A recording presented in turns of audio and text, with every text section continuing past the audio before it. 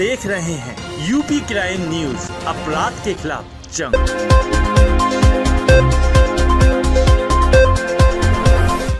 धौलपुर शहर में बजरी से भरे ट्रैक्टर ने साइकिल पर गेहूँ पिसवाने जा रहे 17 साल के किशोर को मारी टक्कर, मौके पर ही मौत। मैनपुरी के क्रिश्चियन मैदान में उमड़ा युवाओं का जन सैलाब 2019 के लोकसभा चुनाव में युवाओं द्वारा केंद्र में बीजेपी की प्रचंड बहुमत की बनेगी सरकार। चित्रकूट ज़िले के करबी ब्लॉक में ग्राम पंचायत के सरकारी नाले को लेकर हो रहा बंदरबाट। बिजनौर में पड़ोस में ही रहने वाले एक युवक ने दो साथियों के साथ मिलकर दूसरे युवक पर किया चाकुओं से जानलेवा हमला। युवक हुआ लहूलुहान। और लखनऊ में नारदन रेलवे मेंस यूनियन के सत्तरवे वार्षिक अधिवेशन का हुआ आयोजन। रेल मंत्री पीयूष गोयल ने भी की शिरकत। नमस्कार, आप देख रहे हैं यूपी क्राइम न्यूज़ और आपके साथ मैं हूँ साक्षी। रुक करते हैं खबरों की धौलपुर शहर में बजरी माफियाओं का आतंक सर चढ़कर बोल रहा है। बजरी माफिया के आतंक के चलते देर शाम को बजरी से भरे ट्रैक्टर ने एक साइकिल पर गेहूँ पिसवाने के लिए जा रहे सात, सत्रह साल के किशोर को टक्कर मार दी। अवैध चंबल बजरी से भरे ट्रैक्टर की टक्कर से किशोर की मौके पर ही मौत हो गई। धौलपुर शहर में बजरी माफियाओं का आतंक सर चढ़कर बोल रहा है। बजरी माफिया के आतंक के चलते शाम को बजरी से भरे ट्रैक्टर ने साइकिल पर गेहूँ पिसवाने के लिए जा रहे सत्रह साल के बच्चे को रामकेश को टक्कर मार दी। अवैध चंबल बजरी से भरे ट्रैक्टर की टक्कर से मासूम की मौके पर ही मौत हो गई। मौत से गुस्साए परिजनों ने जगदीश तिराहे पर खड़े पुलिसकर्मियों को सूचना दी कि स्थानीय लोगों के मुताबिक जब पुलिसकर्मियों ने मौके से भाग रहे ट्रैक्टर को पकड़ने का प्रयास नहीं किया तो स्थानीय लोग अपनी मोटरसाइकिल से बजरी माफियाओं का पीछा करने लगे, जिस पर बजरी माफिया स्थानीय लोगों पर पथराव कर भागने में कामयाब रहे। घटना से गुस्साए लोगों ने परिजनों के साथ मासूम के शव को जगदीश तिराहे पर रख दिया, जिससे धौलपुर, करौली और धौलपुर, भरतपुर मार्ग पर जाम लग गया। जाम की खबर मिलते ही मौके पर पहुँची पुलिस ने। जब जाम खुलवाने का प्रयास किया तो गुस्साए लोगों ने पुलिस पर पथराव कर दिया, जिसके बाद पुलिस की ओर से पप, पंप गन से आँसू गैस की गोली छोड़े गए आँसू गैस की गोली छोड़ने के बाद ही लोग मौके से नहीं उठे, जिसके बाद मौके पर पहुँची कुछ समाज सेवी की मध्यस्थता के बाद लोगों ने जाम खोलते हुए शव को पोस्टमार्टम के लिए भेजा।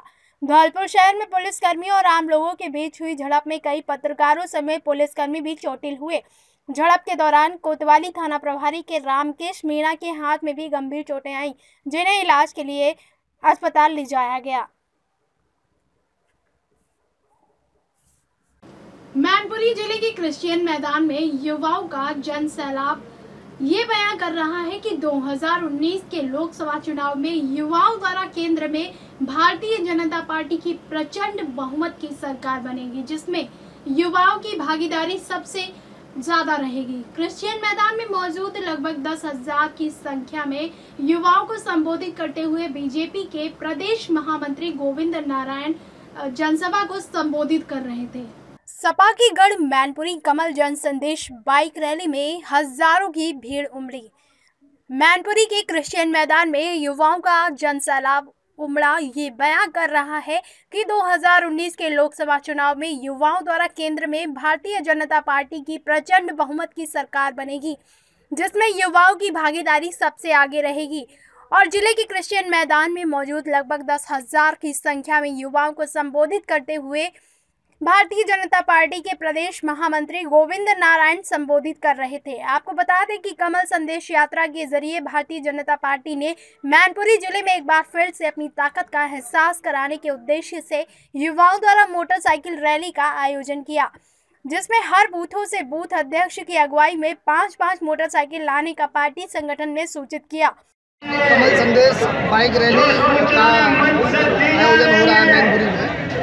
माध्यम से क्या संदेश देना चाहते हैं आम जनता को? भारतीय जनता पार्टी लोकसभा 2019 में मोदी जी के नेतृत्व में होने वाले चुनाव में देश के प्रधानमंत्री मोदी जी बने। यह बात इस प्रदेश की जनता ने तय कर दिया है। भारतीय जनता पार्टी के कार्यकर्ताओं का आज इस कमल संदेश में उत्साह देखने को मिल रहा है।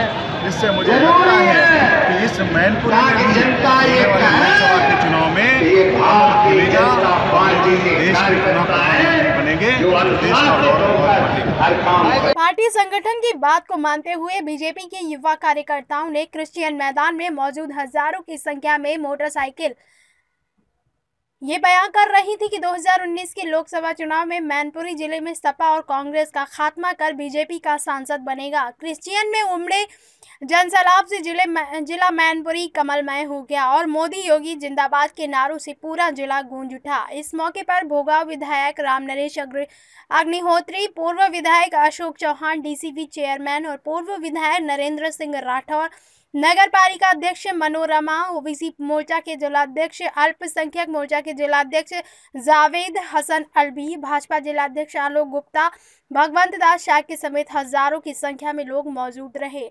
यूपी क्राइम न्यूज़ के लिए संवाददाता राहुल श्रीवास्तव की रिपोर्ट।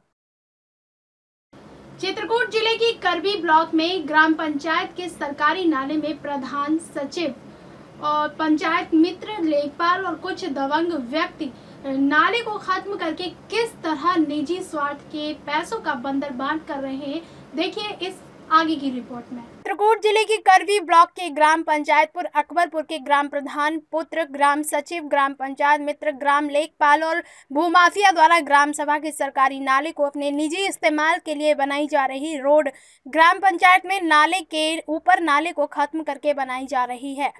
रोड को मनरेगा के तहत बनवाया जा रहा है, जिसमें आराजी नंबर दो सौ सड़सठ से आराजी नंबर दो सौ सड़सठ को नाला खत्म करके सड़क से जोड़ने का काम किया जा रहा है।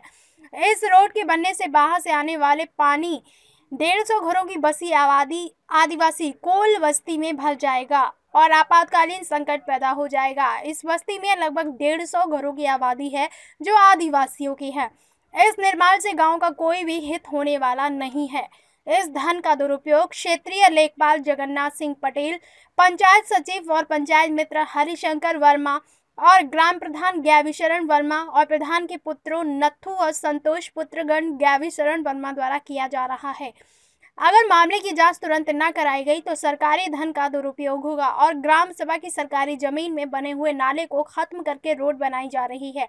मामले की जाँच जल्द से जल्द कराई जाए और अवैध कार को रोककर सरकारी धन के दुरुपयोग को बचाने का आदेश करने के साथ साथ नाले को खत्म करके रोड मनरेगा के तहत बनाई गई, जिसमें सरकारी धन का बंदर बांट हुआ।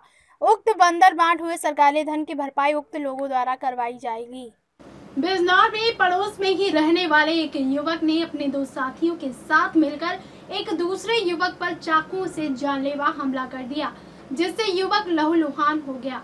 युवक की चीख पुकार सुनते ही आसपास के लोगों को आता देख आरोपी अपने साथियों के साथ मौके से फरार हो गया। वहीं मौके पर पहुँचे लोगों ने घायल को नजीबाबाद के अस्पताल में भर्ती करवाया।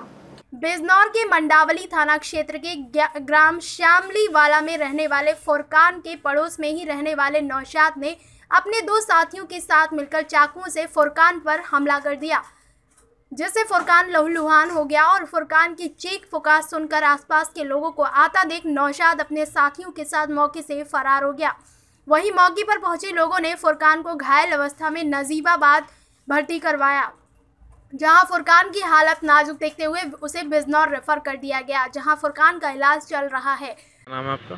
फुरकान अहमद। फुरकान अहमद जी आज अस्पताल में आए हो? क्या है बुरा मामला? जो हमारे घर में घुसको हमारे पड़ोसी ना और तमंचे और चक्कू ले रखे थे। कोई बाहर डंडे से सिर फोड़ के जान से मारने के लिए आए थे। और जब गाँव वाले मोहल्ले वाले इकट्ठे हुए शोर मचा तब छोड़ कर भागे। और ये कहानी ना कि आपको तो छोड़ दिया अगली बार जान से ख़त्म कर देंगे कहाँ का मामला है ये और किसने आपको धमकी दी है? किसने ग्राम सामने वाला का मामला है ये। हमारा पड़ोसी का नौसाद और साथ पुत्र शरीफ अहमद एक उसका लड़का था दिल नवाज़ नौसाद का लड़का। उन्होंने धमकी दी। थाना कौन सा लग रहा है? थाना मंडावी लगता है हमारा। वहीं पुलिस ने मामला दर्ज कर कार्रवाई शुरू कर दी है और आरोपी अभी भी पुलिस की पकड़ से बाहर है। यूपी क्राइम न्यूज़ के लिए संवाददाता सलीम अहमद की रिपोर्ट।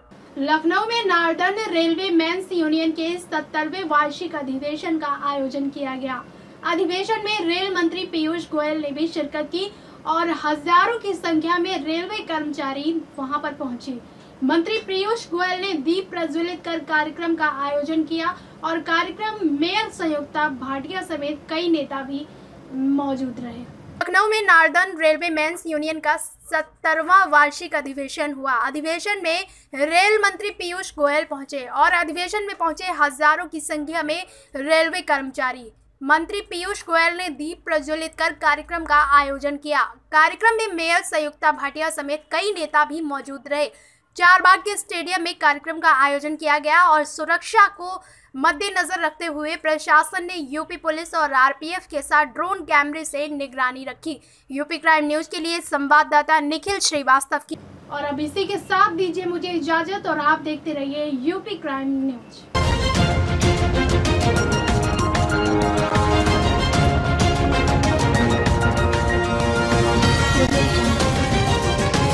आप देख रहे हैं यूपी क्राइम न्यूज़ अपराध के खिलाफ।